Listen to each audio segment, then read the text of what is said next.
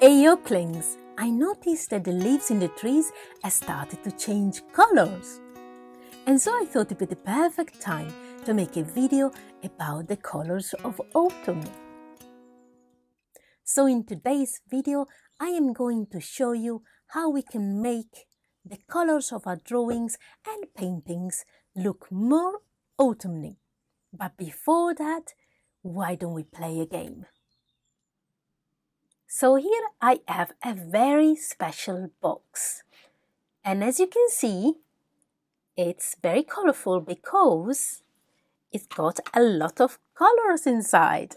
These are color chips that I collect and they inspire me to choose colors. And now I'm going to use it to ask you which of these two colors do you think it looks more autumny? This one or this one? And which of these two do you think looks more autumny? This one or this one? I've got some more. What do you think about these two? Which one do you think is more autumny? This one or this one? And then I've got a yellow what do you think about this? Or do you think this one is more autumny? And then let's take a blue. This one or this one? Which do you think is more autumny? And the last one I have a pink. Which one do you think looks more autumny? This one or this one?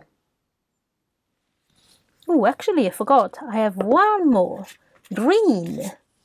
Do you think this one looks more autumny or this one? Mm -hmm. So I'm going to tell you which ones I think they look more autumny. Between these two, I think that this one looks more autumny. Between these two, I think this one looks more autumny. Then between these two, I think that this one is the winner. and then between these two, I think this one looks more autumny. And what about this? I think this one. And greens, I think this one. And blues, I think this one. So my question here is here for you. How do you think we can make this color?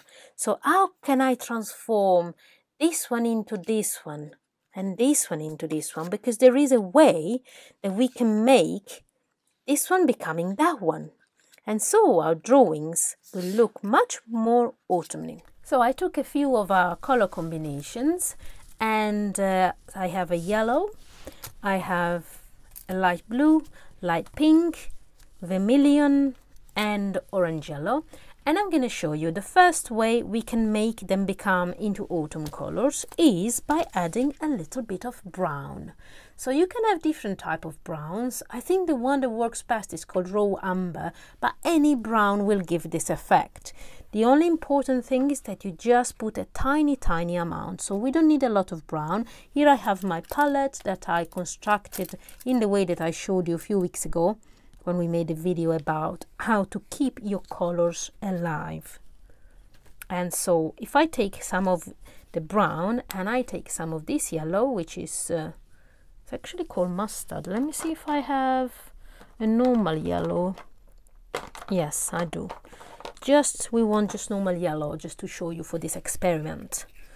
And when you have a dark color and a light color and you have to mix them, you always need to remember that the darker one is more powerful. And so you just need a very, very little amount of that in order to change the color of the lighter one. So I just found a very small brush. Perhaps it's a bit too small to show you. Let me see, maybe this one.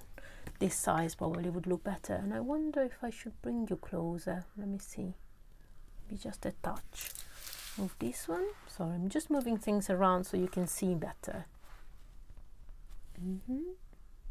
Mm -hmm.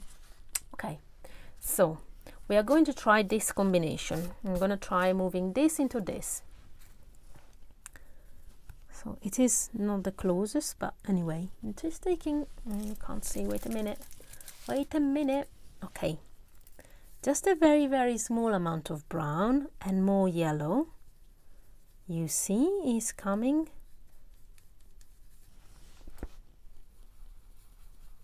Here, so we got the first one, right? So now I'm just rinsing my brush and we're gonna try with the blue. Give me a second, uh, just clean my brush because it's really important when you want to do different colors that you keep your brush clean. So we're gonna try this one now, blues. Sorry, I was having some problems to try and find a color like that. And this I think is the closest I have, but it's darker. Anyway, I tried one, but it came out grey, which in fact it is very, very autumny color anyway. So we got this blue and just put a touch of this. Okay, so here I have my autumny blue. And I show you as well, sorry, forgot to show you the original one because I got panicked that I didn't have the right one. You see, it's slightly different, but it's still a type of blue. So by adding brown, we made it look more autumny.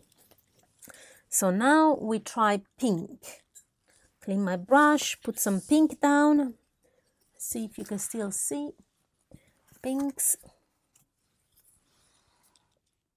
I try to be quick so I don't want to bore you. So I'm trying my pink. Again, it's not a perfect pink, but the closest I can give. But look, by adding a touch of this brown, might need a little bit more pink. Just give me a second. Here we go. The light is also changing, which doesn't help. So we made this one a little bit more autumnly. So they're starting looking good. Perhaps I should actually put them side to side, like on the top, the ones that we make, so that they will look all together. Our autumn palettes.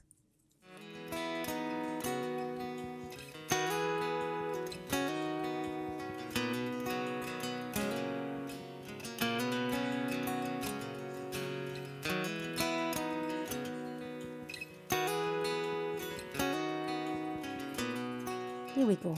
I think this looks really autumny. So the first is this, this method that I show you. Just add a touch of brown. And let me see if I can bring this color closer. The second method is using the color wheel. This is a special color wheel. It's called Gamblin color wheel and it shows the outside and the inside. So this method is that if I want to make this yellow look more autumny, I need to add the opposite color that lives in the color wheel.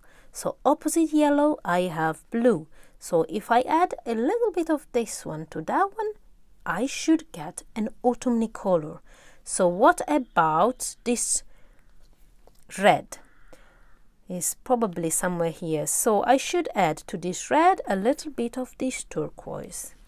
And I should get an autumny color. What about, let me see, what did I have? This green that I have here. This green I should probably add a touch of purple. And what if I have this blue that at the moment is living there? should I add maybe a touch of orange? So let's try if this works. I'm going to start with this one, which is the first, is red. And I said that if I wanted to make it look more autumny, I needed to take the opposite, which is some of this. So I'm going to give it a try, a little bit of water. It's always good to have. And then I have a touch of blue from before. Let me see what comes out. So I'm going to have this one, which looks pretty close. I'm going to put it on the top as we did before. We're going to build our own palette. And uh, again, I show you what looks at the beginning when it's clean with nothing in it. It looks this before and after. It looks much more autumny. So it actually works, this combination between this and this. So adding a touch of blue in this red, it gives you an autumny red. Now, let me clean my brush. And now we start and try yellow. So I have this yellow here, and it should be this yellow. Let me just put it there, kind of. Now I want to make it more autumny. So I want to make it looking more like this. And I said I was going to use the opposite, which is blue. Okay, so I have this a blue, it's called blue violet in here. Colors I've got, I just put a touch actually here on the side and then I mix them. I just need a touch of water. It's actually becoming more green. But yeah, it looks pretty close. It's probably a touch more green. I wonder if I should add a different type of blue, which is more purpley blue. I have a different one here. It's called deep magenta, but it's still like purple. So if I just add a touch, let me see what happens. Oh yes, look. I think that's what he needed. It's much more close to the one we had. I'm going to put it up here. Perfect. I think it worked, but it worked better with this purpley one rather than the bluey one. Good to know.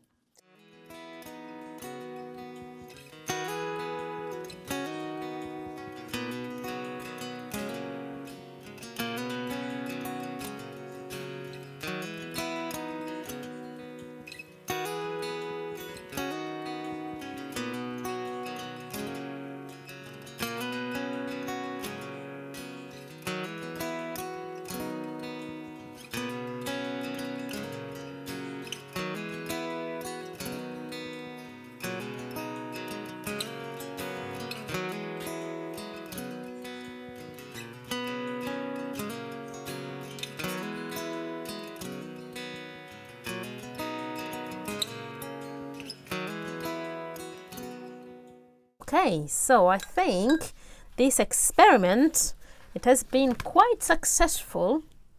We just have to look very carefully to the color wheel and match exactly the color that is opposite. And here we have some colors of autumn. The first palette I did by adding a little bit of brown to the main color and the second one I did by using the opposite color on the color wheel. So I truly hope you enjoyed this video and let me know if you tried and if you have some questions or troubles, just write me in the comments. I'll see if I can help. But after this, I'm really looking forward to do some autumn paintings.